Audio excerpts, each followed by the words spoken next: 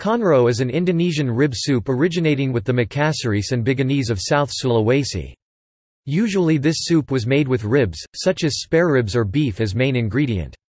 The soup is brown-black in color and eaten either with burasa or ketupat cut into bite-size pieces or rice. The spicy and strong-tasting soup is made from a mixture of rich spices, which includes coriander, keluwak Pangium edule, a fruit that gives it its blackish color, also small amount of nutmeg, turmeric, galangal, cinnamon, tamarind, lemongrass, clove, and salam Indonesian bayleaf.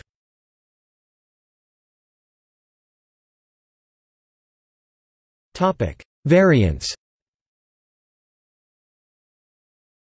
Originally konro was usually served as spicy rich soup, however today the new variation of dry konro is available, the konro bakar grilled konro, similar to grilled ribs marinated and coated in spices typical to konro soup.